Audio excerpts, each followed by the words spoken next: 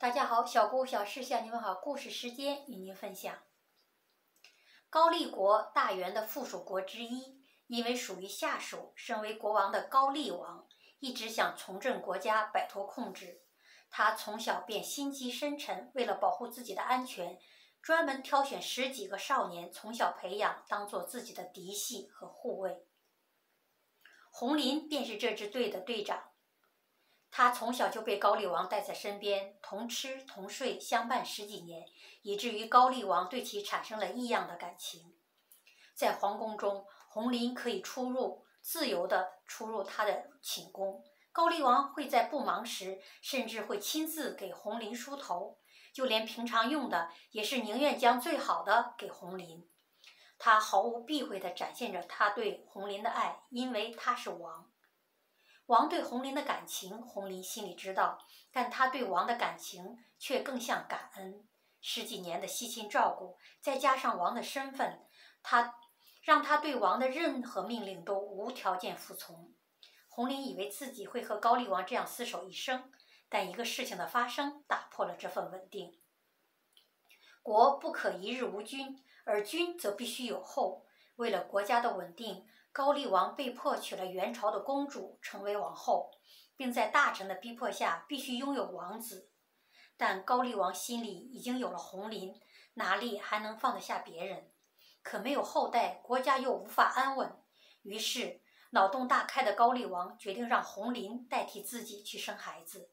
毕竟他心里将红林看成了自己最重要的人，甚至希望将来的孩子像红林一样温柔。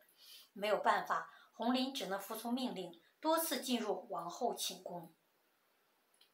但令高丽王没有想到的是，随着红林和王后的接触，俩人居然产生了感情，互相爱上了对方，并且即使没有高丽王的命令，也会偷偷约会。俩人以为自己做的天衣无缝，但这些变化却被高丽王看在了眼里。他从没想过自己看中的人会背叛自己。也许他对红林的爱已超越了所有，但是爱是无法容忍背叛的。为了阻止二人在一起，他将红林囚禁起来。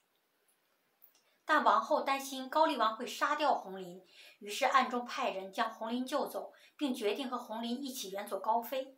但计划并没有那么容易实施，在其他对王位有所图谋的黑手策划下，远逃离的。红林以为高丽王会把王后杀了，愤怒的他来到皇宫寻找高丽王报仇，但他从小就和高丽王剑术相差甚远，以至于在和高丽王的搏杀中一直处于被动。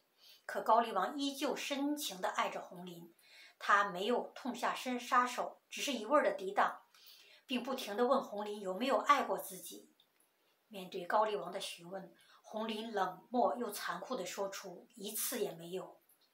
这句话彻底击垮了高丽王的防线。在对决快要结束时，高丽王的剑已经刺入红林的胸膛。高丽王问红林：“你是否曾经爱过我呢？